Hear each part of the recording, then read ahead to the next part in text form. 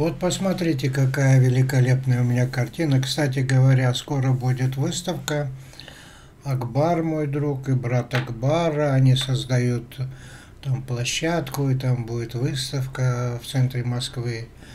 Ну, скоро, когда будет э, выставка, я вам сразу сообщу. И там, конечно, наверное, я поставлю и эту картину, которая называется «Приглашение в ад». Она великолепная, потому что к ней есть стихи. Души грешников превращаются в звезды, которые светят далеко и одиноко, и возбуждают надежды, которые не исполняются.